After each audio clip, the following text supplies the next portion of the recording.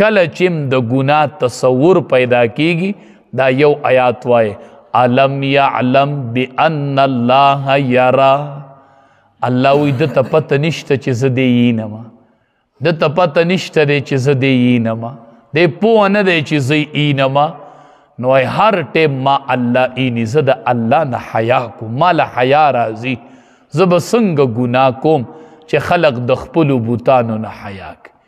زمونږ دسی رب دی دسی رب هم دی چې هغه رب مونږ ته په څه میلاویږي مونږ ته زمونږ رب په یوه سجده باندې میلاویږي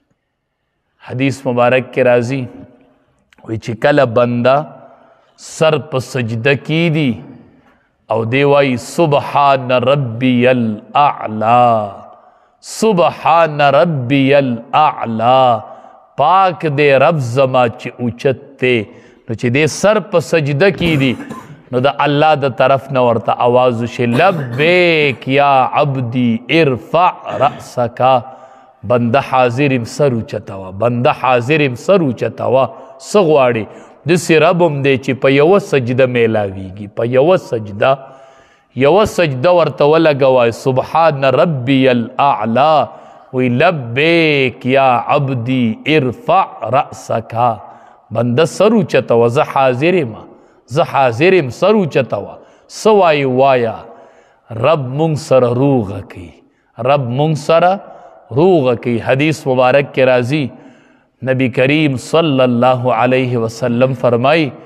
چې کله یو بنده د ګنا نه توبه وباسي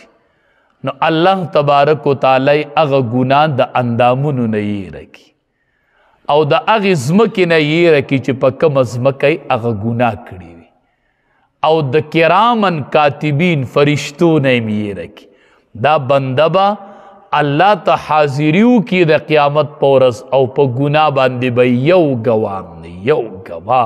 نو دی روغ نه کی دا رب د سه رب دې زمون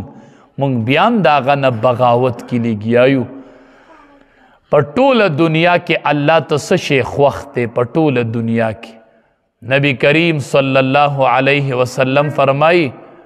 ما من شیء احب الی الله من شاب التائب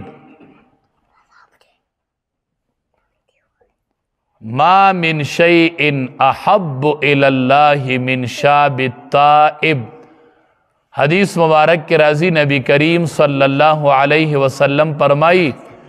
په ټول دنیا کې الله تبارک وتعالى ته د ځوان سړی توبه خوخه ده الله په ټول دنیا کې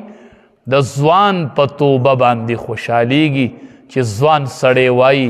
الله زما توبه ده الله وی په ټوله دنیا کې ما ته دا محبوب دی او زه په دې خوشحالیږم چې کله ځوان سړی وایي چې یا الله زما توبه ده ای ځوانانو الله زمونږ د ځوانانو په توبو خوشحالیږي ولی الله نه خوشحالو په ځوان